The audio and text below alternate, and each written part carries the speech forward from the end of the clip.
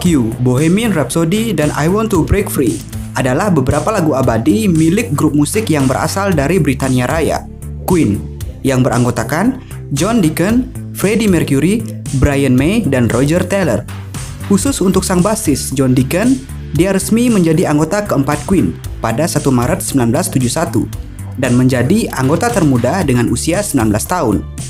Dalam grup musik Queen, John Deacon dikenal sebagai sosok paling pendiam dan memiliki julukan sebagai The Invisible Man.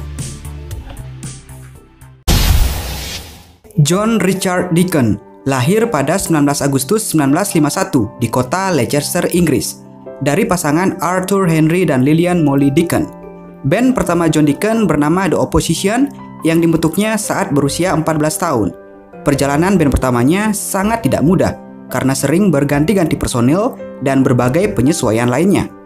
Tahun 1969, John Deacon memutuskan keluar dari band yang dibentuknya karena harus melanjutkan kuliah di Chelsea College. Sampai pada tahun 1970, ia menyaksikan penampilan sebuah band lokal bernama Queen. Kemudian, John Deacon memutuskan untuk bergabung dengan band atas ajakan Brian May dan Roger Taylor. Ia mendatangi rekan-rekannya saat sesi gladi bersih sebuah pertunjukan dengan membawa sebuah bass dan amplifier buatannya sendiri. Ia mulai berlatih bersama dengan anggota Queen yang lainnya. Beberapa hari kemudian, John Deacon resmi menjadi anggota terakhir yang bergabung dengan Queen pada tanggal 1 Maret 1971. Siapa sangka, selama 20 tahun sejak John Deacon bergabung, band ini akan menjadi salah satu band paling populer di dunia.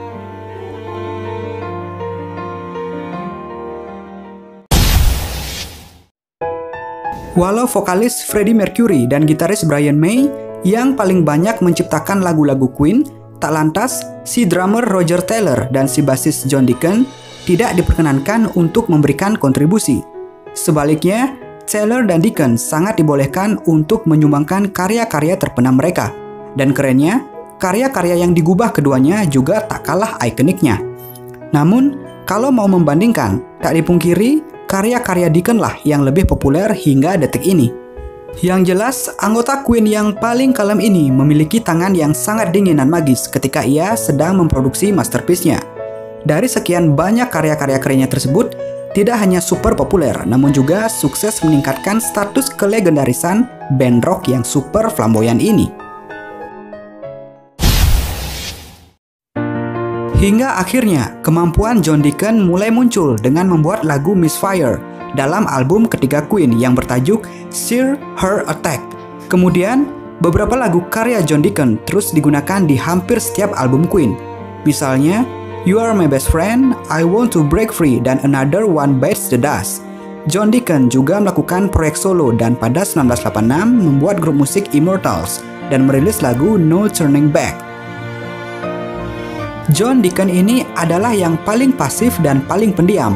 Tapi di sisi lain, dia adalah seorang yang jenius, pemberi warna baru pada Queen, pencipta lagu handal di Queen, dan pencipta amplifier gitar yang digunakan Brian May di awal-awal berdirinya Queen, yang diberi nama DCM. Brian May dan Roger Taylor juga pernah bilang bahwa John ini paling tidak ngerok di Queen, karena lagu ciptaannya mayoritas tidak beraliran rock. Walaupun mereka berdua bilang begitu, Freddie Mercury selalu membantu dan mensupport John Deacon untuk menciptakan lagu. Lagu Another One Bites the Dust bahkan salah satu dari dua lagu yang menembus nomor satu pada chart Billboard Amerika Serikat dan memperoleh penghargaan American Music Awards 1980. Padahal saat itu, Brian May katanya tidak setuju jika lagu tersebut dijadikan single Queen saat itu. Di sisi lain, Lagu I Want to Break Free bahkan masih sering terdengar hingga saat ini dan merupakan salah satu lagu Queen yang paling sering di cover orang lain.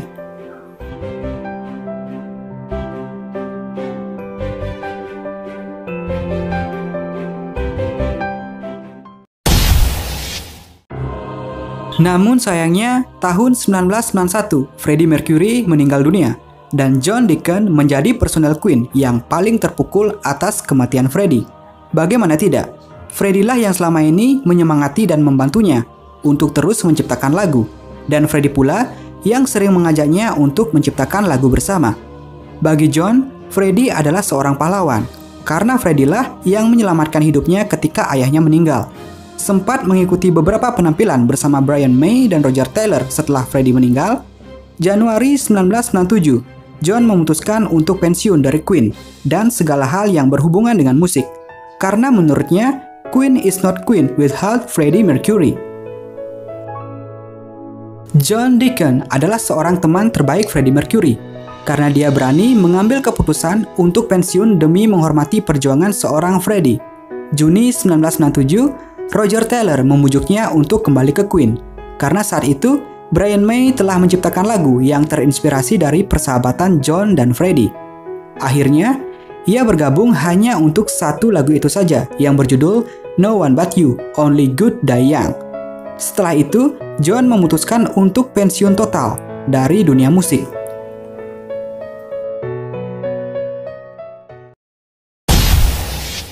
Freddie Mercury meninggal dunia pada tahun 1991 akibat pneumonia yang disebabkan oleh virus HIV/AIDS. Inilah akhirnya, tidak ada lagi alasan untuk melanjutkan. Sangat mustahil untuk menggantinya, kata Deacon. Kalimat yang ia sampaikan sesaat setelah Freddie Mercury meninggal menjadi pertanda bahwa ia ingin berpisah. Namun, ia tidak serta-merta langsung keluar dari manajemen band Queen. Setidaknya, ia tampil di tiga konser Queen, yaitu konser tribute to Freddie Mercury pada peringatan AIDS tahun 1992, konser amal bersama Roger Taylor tahun 1993 di Midhurst, dan konser bersama Elton John di Paris pada tahun 1997. Setelah itu, John Deacon benar-benar pensiun baik dari dunia musik maupun dunia hiburan secara umum. Namun tidak seperti pensiunan dari sebuah band legendaris lainnya. Kehidupan John Deacon selama pensiun sangat tertutup, baik dari fans maupun dari publik. Dia tak datang saat Queen dinobatkan dalam Rock and Roll Hall of Fame pada tahun 2001 atau ikut main saat konser kolaborasi dengan Paul Rogers atau Adam Lambert. Bahkan saat acara world premiere film Bohemian Rhapsody yang juga menceritakan tentang karirnya, ia tidak datang. John Deacon tak bisa move on setelah kematian Freddie pada tahun 1991 ia kehilangan semangat bermusik, lalu meninggalkan band yang dibesarkannya bersama dua personel lain, Brian May dan Roger Taylor. Brian May pernah ditanya soal kabar Deacon. Ia berkata masih berhubungan baik dengannya. Bahkan, May sempat mengatakan Deacon menyetujui rencana reuni dan pembuatan film Bohemian Rhapsody. Tahun 2018, film Bohemian Rhapsody ditayangkan di seluruh dunia dan langsung mendapatkan respon positif baik dari penggemar maupun kritikus. Meskipun ada beberapa cerita yang harus sedikit dikarang dari kisah perjalanan Queen dalam film tersebut. Brian May mengaku ia sudah menghubungi John Deacon dan tak ada keberatan soal itu. Berdasarkan informasi yang dikutip dari berbagai sumber, Deacon saat ini tinggal di Putney, London Barat Daya bersama istrinya Veronica Telzlev. Menurut daftar orang terkaya versi Sunday Times, Kekayaan Deacon bernilai 65 juta pound sterling atau sekitar 103 juta dolar Amerika Serikat pada tahun 2011.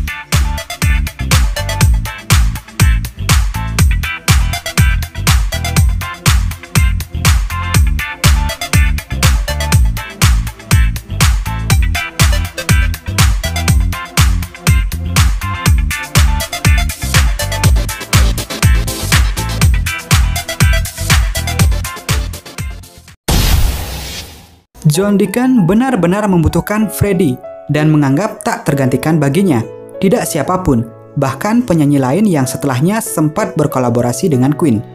Dalam film Bohemian Rhapsody, peran John dimainkan oleh Joseph Francis Mazzello III. Tata rias membuat Mazzello memang tampak mirip memerankan Deacon. Ada satu bagian di film yang menampilkan bagaimana pertama kali Deacon menunjukkan bass line dalam lagu Another One Bites the Dust salah satu hits Queen ciptaannya. Lagu-lagu yang diciptakan John Deacon termasuk yang menjadi greatest hits dari Queen. Ada I Want to Break Free, You Are My Best Friend, dan Another One Bites the Dust. Bahkan sebenarnya, bass line dari Under Pressure yang dinyanyikan bareng David Bowie hasil karyanya, meski tak pernah diakuinya. Deacon memang pribadi yang rendah hati dan cenderung pendiam dari ketiga personel Queen lainnya John yang menciptakan bassline, tapi kemudian ia lupa, kata Roger Taylor, drummer Queen mengingat proses penciptaan lagu Under Pressure. Lagu Another One Bites the Dust dengan judul yang ear-catchy dan tentunya dengan betotan bass Deacon yang intens dan powerful, tak mengherankan apabila lagu tersebut tidak hanya menjadi lagu signature Deacon sepanjang masa, namun juga sukses menjadi gerbang penghantar Queen di dalam ranah musik disco dan R&B di dekade 80-an. Apabila saja Deacon hingga ini masih aktif bermusik, sangat dipastikan dirinya akan terus menelurkan karya-karya ikonik lainnya. Sayang beribu sayang, dikarenakan pasca kematian Freddy, ia memutuskan untuk pensiun. Kita pun tidak bisa lagi mendengar karya-karya potensialnya tersebut. Terlepas demikian, Tak dipungkiri, Deacon akan terus dikenang oleh seluruh fans Queen di mana pun mereka berada.